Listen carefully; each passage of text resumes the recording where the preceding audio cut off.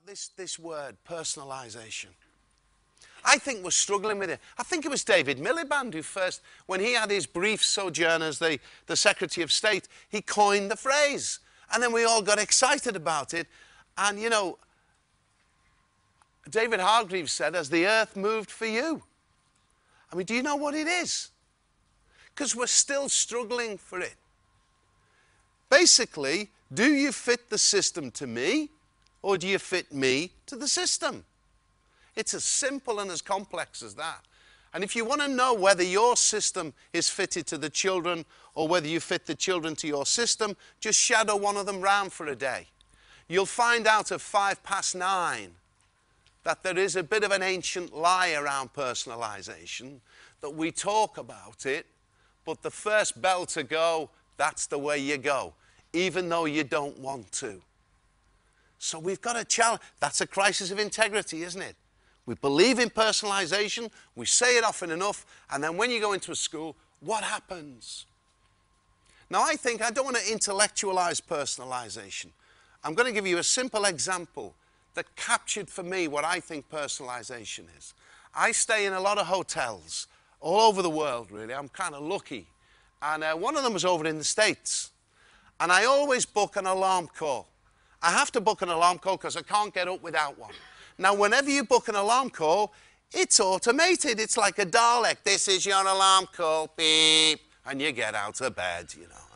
And I'm in uh, over in Texas, and uh, the alarm went in the morning, and I, I was still half asleep, and I picked it up, expecting a Dalek, and this voice said, "Hi, John." Hello, hello, hi, John. It's John, isn't it? And I'm thinking, yeah, who's this? It's Wayne here, John. I am your alarm call. Hello, Wayne. now listen, John. He, started, he hasn't finished yet. He said, now listen, John, he said, I know you booked me for 7.30, and it's actually 7.15. I got you up a little bit earlier, because I've got the mother of all breakfasts waiting for you, boy. oh, thanks, Wayne. It's a Texan breakfast, John. You're going to need more time. Oh, that's great. Thanks, Wayne. Now listen, John, he hasn't finished yet. He said, It's cold out there on the Savannah Plain. You make sure you take a sweater with you today because I don't want you taking a Texan chill back to little old England with you. oh, uh, thanks, Wayne. That's very kind of you. You have a good day, John. Now, we are not good at this in, in our culture, are we? You go, okay, don't we? You know, when you say to somebody in Wakefield, you know, how are you? Do you know what they say? Fine. Isn't that fine such a terrible word, isn't it? It's not as bad as mustn't grumble. Just over the border in Lancashire, we say, keeping me head above water. You know, what a horrible image. The worst one is not bad considering. considering what? So I said, You have a good day too, Wayne. He said, I'm going to, John. And do you know what? He was going to. Do you know, I was wide awake. Do you know what he was doing? It's called inspiration. He breathed life into me. When normally I'm like a corpse at that time in the morning, I'm awake. I, I went downstairs. Who did I want to meet? Wayne. Where is he? and I went to the management structure, all the photographs up there. Where's Wayne? He wasn't on there. Must be reception. Went rece- He's not on reception. Where is he? Concierge. It's not the concierge.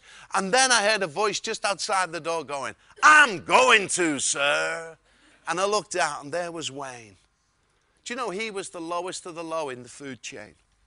He was the one who carried your suitcase from the car, the taxi, to the reception and kind of lived off tips. But there was only one person who filled that foyer. It was Wayne's World. I suspect that hotel chain, you know, had spent a fortune marketing the hotel.